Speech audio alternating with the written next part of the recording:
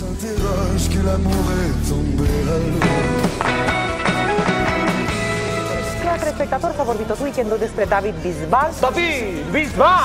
Iertați-mă că Buleria, buleria! mi-am permis să ies din comă înainte de vreme. nu, pe mine David Bisbal nu mă impresionează nici cum. Minunat, om excepțional, presupun că nu știu. Asta cu buleria n-am înțeles niciodată. Buleria, buleria! Asta în pum, condițiile în care al meu, respectiv Garu, concurența directă, vine în România pe data de 8 aprilie